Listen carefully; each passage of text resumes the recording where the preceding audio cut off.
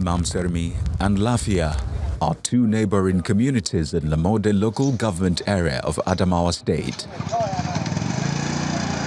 Both communities with a population comprising Muslims and Christians have lived together peacefully for years until recently when an issue arose over farmland.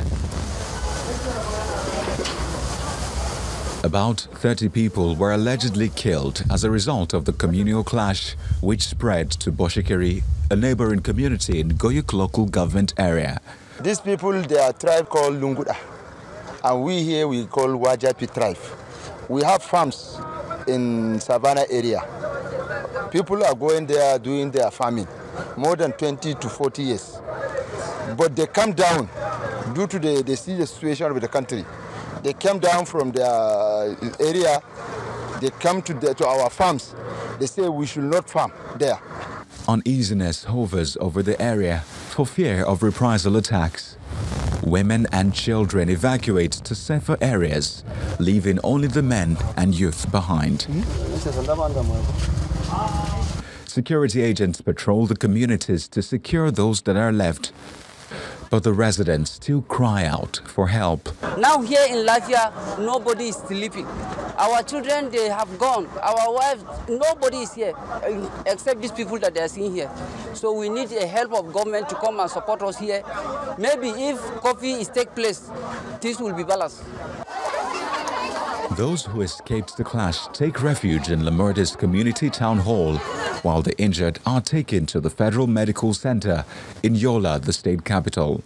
So we found out that we have about 1,185 IDPs now residing in Lamurde, uh, Lamurde uh, Community Hall. So you see a patient that we took from the clinic now. We are taking him to the General Hospital for Federal Medical Center Yola. We came with our little ones. Some of them are sick, and there are pregnant women among, among us now that need uh, help from the government. That is, that is why we were crying loud to the government if they may come to our rescue, to come to our aid with some items like drugs and other things.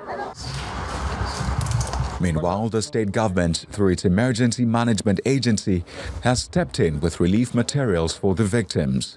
I have got a call from the head of service of Guyuk, who told me he met nearly 100 people in his house as uh, IDPs.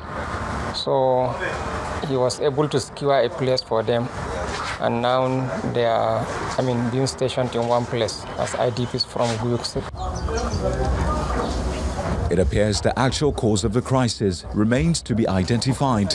Until that is done and action taken to address it, these people may continue to live in fear.